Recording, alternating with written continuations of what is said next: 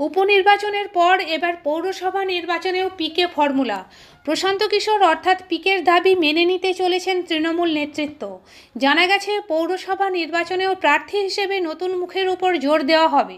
ইতিমধ্যেই শুরু হয়ে গেছে সেই রকম প্রার্থী বাছাইয়ের প্রক্রিয়া। কাজ শুরু করে দিয়েছে পিকের টিম। খোঁজ খবর শুরু করেছে বিভিন্ন পৌরসভা এলাকায়।